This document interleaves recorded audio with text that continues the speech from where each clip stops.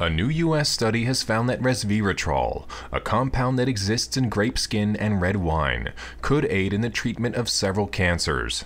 Researchers from the University of Missouri School of Medicine discovered that the compound made melanoma cells more susceptible to radiation treatment. These new findings are in line with similar findings that show resveratrol is capable of sensitizing prostate cancer cells to treatment. The study investigators now want to determine how to use the compound to treat a variety of cancers. One of the primary challenges is finding a way to deliver the compound into tumors.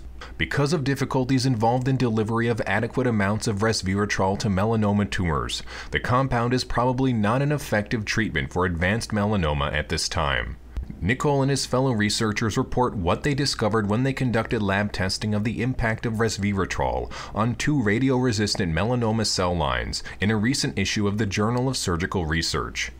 The findings demonstrate that treatment using only resveratrol alone successfully killed off 44% of melanoma tumor cells. However, when resveratrol was combined with radiation, 65% of the melanoma tumor cells died. The research team is hopeful these study findings will lead to more research into how resveratrol could be used in the fight against cancer. Professor Nicholl claims, We've seen glimmers of possibilities, and it seems that resveratrol could potentially be very important in treating a variety of cancers.